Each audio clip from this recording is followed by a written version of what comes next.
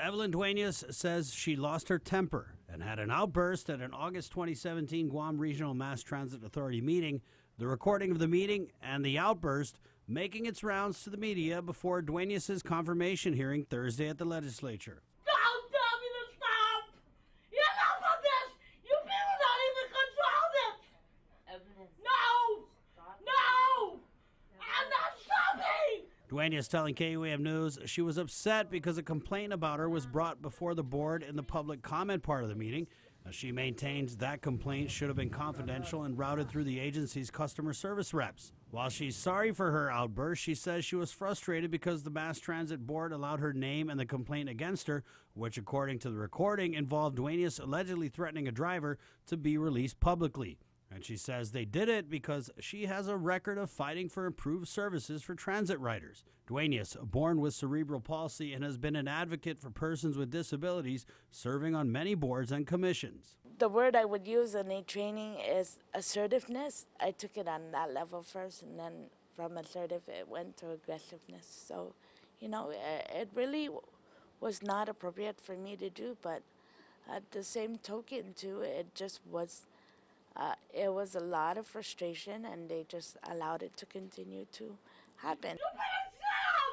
And get out of my way! Don't tell me to shut up!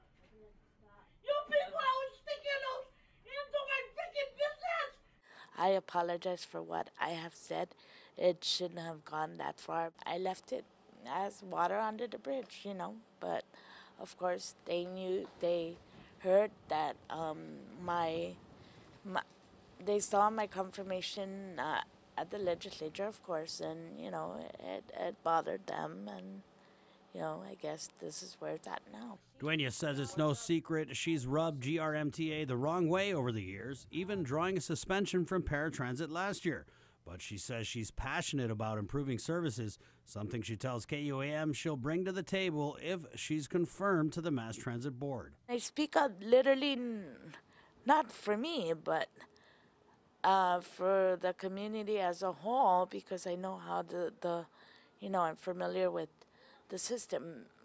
I've been writing for 35 years now, so uh, this is the worst it's ever gotten.